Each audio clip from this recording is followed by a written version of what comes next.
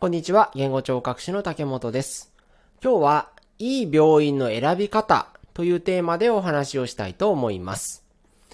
リハビリ病院を選ぶ際のポイントになります。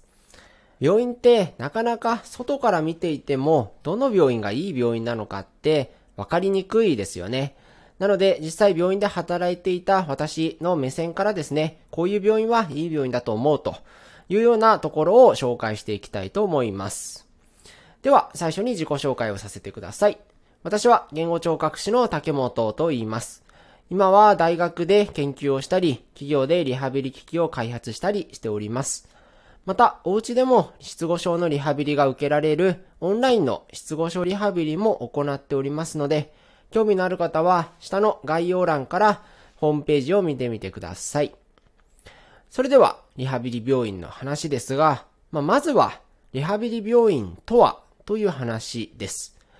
病院にはですね、急性期の病院とリハビリの病院があります。急性期の病院というのは、救急車で運ばれる最初の病院のことですね。ここでは脳の血栓を取り除いたりですね、そういったまずは命に関わるような処置を行うところです。そして、ここで体の状態が落ち着いたら、ここからリハビリを専門的にするような病院に移るというような流れが一般的です。リハビリ病院はですね、別名回復期病院とも言いまして、まあ最大で6ヶ月程度入院することができます。その入院期間、みっちりとリハビリをする、リハビリのための病院ですね。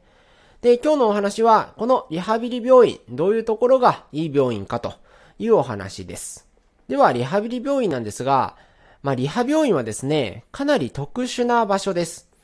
というのも、他の病院、他の科とかなり違う部分が多いんですね。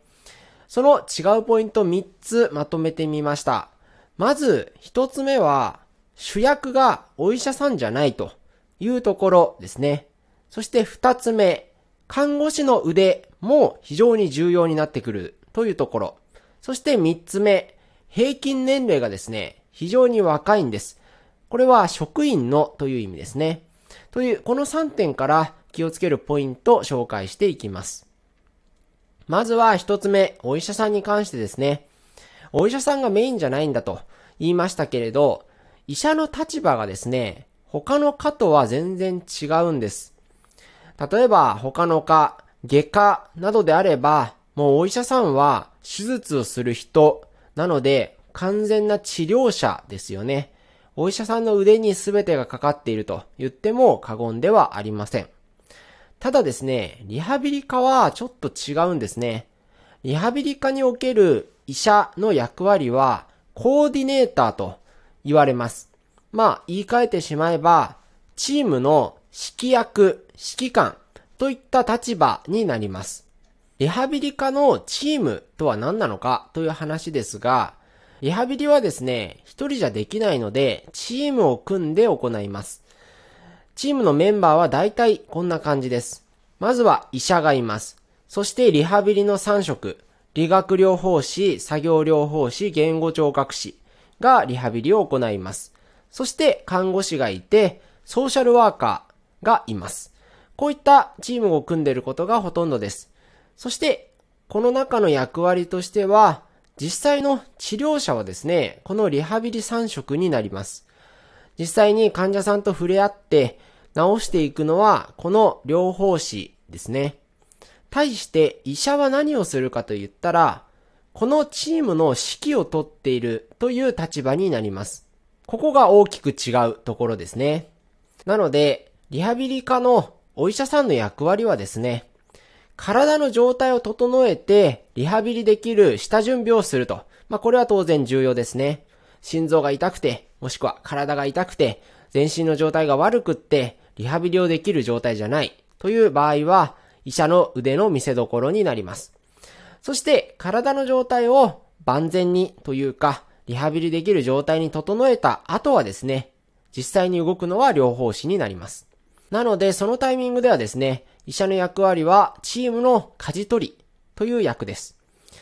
例えば、PT、OT、ST、この3色、リハビリの療法士ですが、この時間割を振るのは医者の役割になります。PT8 割で OT2 割のリハビリをするのか、PTOTST334 でやるのか、みたいな形でですね、どのような配分でこの人にはリハビリが必要なのか、といった割り振りをしていきます。そして入院期間の決定、まあ、これもお医者さんの役割ですね。この患者さんは2ヶ月の入院があればお家まで戻れるだろうと。そういうスケジュールでリハビリを進めていきましょう。みたいな形ですね。で、当然ですね、進捗に合わせて再調整することが必要になりますので、このあたりもお医者さんが情報を集めてですね、実際の進捗に合わせて計画を練っていくということになります。なので、リハ科の医者はですね、腕だけあればいいというものでもないんですよね。チームと密にコミュニケーションを取るという力が必須になります。なんですが、まあ一般的なお医者様のイメージ、偉そうで、権威的で、えー、厳しいと、まあ、いうようなイメージあるかもしれませんが、そういうですね、お医者様的な人だと、なかなかこれうまくチーム回らないんですね。なので、リハビリ科のいいお医者さんはですね、フランクで、チームのメンバーも、家族も患者さんもですね、喋りやすいというのが非常に重要になってきます。で、リハビリの専門医というものがありまして、リハビリの知識、リハビリの行い方に詳しいというお医者さんのことですが、この専門医であればですね、この辺よくわかっているので、大体外れはないと思いますが、リハビリ専門医自体がですね、非常に少ないというのが、まあ、現在の問題点でもあります。なので、耳鼻科の先生だとか、脳外科の先生だとか、まあ、そういった専門の先生がリハビリの先生としてもやってるというようなところも割とあります。こうなってくるとですね、お医者様的な先生も結構出てくるということになります。なので、病院選びのポイント一つ目はですね、医者と療法士の関係が良好そうかどうかというところです。まあこれは旗から見ていても、まあ結構わかるものです。医者が威圧的で、療法士が萎縮してしまって、全然コミュニケーションが取れていないとかですね。医者と療法士で話し合いが全くできておらず、指示が飛んでいるだけというような場合とか。まあ、もしくは、医者がちゃんとリハビリを見に来ているのかと。指示だけ出して現状を全然把握しようとしていないという場合も、なきにしもあらずです。なので、リハビリの現場にですね、見に来てくれる医者は、まあ、間違いなくいい医者だと思いますので、まあ、こういった医者がいるかどうかは、外から見ていても割とわかりますので、確認してみてください。ということで、ポイント一つ目は、主役が医者じゃないというところでした。そこから、医者と療法士の連携がちゃんとできているかというポイントが重要になってくるという話です。では次は、看護師の腕の方に行きましょう。リハビリ科は看護師もですね、特殊な立ち位置にあります。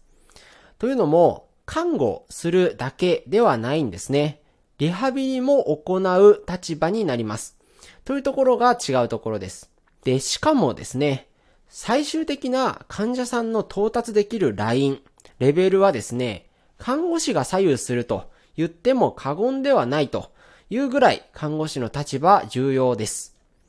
というのも、リハビリ科において、療法士、理学療法士、作業療法士、言語聴覚士ですね。この療法士は、患者さんの最大のレベルを引き上げるというような役割を持ちます。患者さんがベストパフォーマンスを行った時、どれだけ出せるかという最大値をどんどん引き上げていくというような役割になりがちです。というのもですね、本当は実際に行う生活のレベルでパフォーマンスが上がっていくのが一番なのはもちろんなんですが、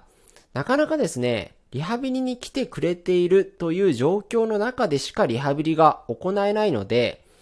実際の生活の中で気を抜いた時にどのぐらいのパフォーマンスが出るかというところ見るの難しいんですね。まあ練習でできていても本番でできないこともあるよねというようなことですね。で、そこで重要になってくるのが看護師です。入院中、看護師はですね、生活に寄り添いますので、実際の生活でどうかというのは、看護師が一番よくわかるんですね。練習でできるようになったことを実際の入院の生活の中で練習をして確実にしていくという役割がこの看護師の役割なんです。ということで、これ重要なのはお分かりだと思います。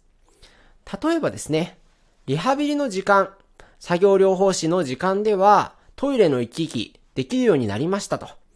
一生懸命練習をして、リハビリの中ではうまくこの動きできるようになったと。で、そうなったら、今度は実際のトイレの場面で看護師が確認、練習をして実用レベルで安定させるということになります。というのも、動作自体はうまくできるようになっても、実際にトイレに行きたいと、尿意がある、便意があるという時、焦りますよね。だし、どういう手順だったか、先生が近くにいなくて不安もあるかもしれません。そういった気持ちの中で動き始めると、結構ですね、失敗しちゃうこともあるんですね。そういう時に看護師が近くで見守っていて、もしくは助言をしてですね、実用のレベルを安定させるということが非常に重要になってきます。ということで、病院選びのポイント二つ目は、看護師がリハビリに参加できているのかどうかということになります。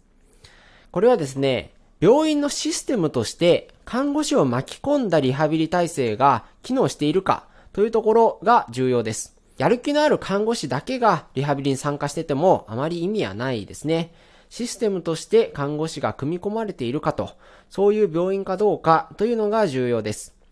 で、これはですね、まあ、ホームページを見ても書いてあることありますし、あとは実際に病院の中でですね、看護師と療法士がよく話しているかというのを見るといいと思います。いい病院はですね、看護師が療法士に、この患者さん、こういうことできないんですけど、何かポイントありますかとか、いろいろ聞いてくれたりします。こういう病院は、リハビリ以外の時間もですね、しっかりとリハビリが行えていますので、患者さん良くなっていきます。ということで、ポイントの二つ目は、看護師の腕も重要というところで、看護師がちゃんとリハビリに参加しているかが見れるといいですね。では、最後三つ目、平均年齢が若いという点です。リハ病院のですね、療法士は若いんです。まあ理由はいくつかありますけれど、まあ、とにかくですね、20代前半の療法士というのも非常に多いです。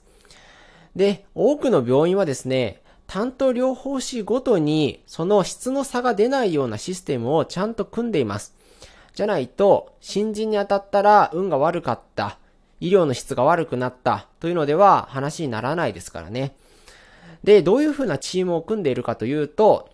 新人は先輩とチームを組んでですね、チームとして患者さんを見るというようにしている病院が多いです。なのでですね、逆に新人が担当についた場合、むしろ新人の療法士とベテランの療法士、二人に丁寧に見てもらえるということで、割とプラスなんじゃないかなと、個人的には思ったりしています。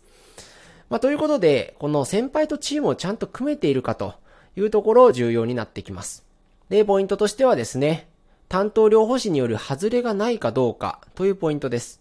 先輩と後輩でチームを組む、助け合うという点を考えれば、当然、療法士の十分な数が必要になってきます。なのでですね、療法士が一人しかいない、二人しかいないというような職場は、割とこの当たり外れが出てしまう可能性が高いと思います。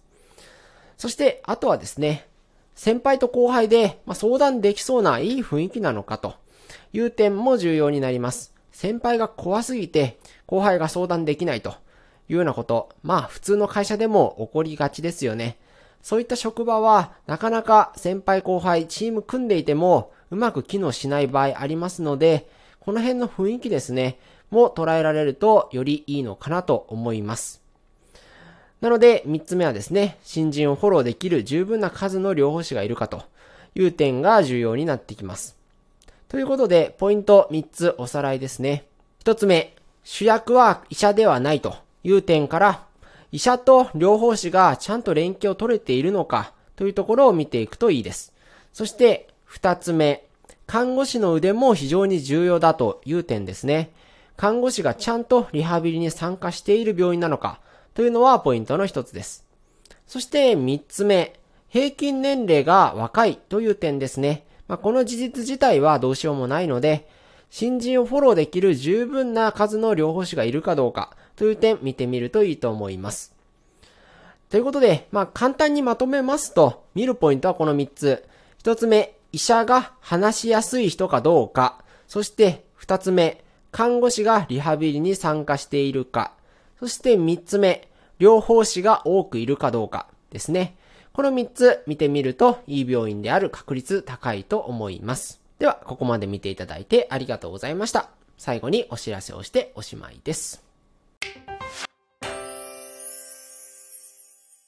はい、本編お疲れ様でした。最後にお知らせです。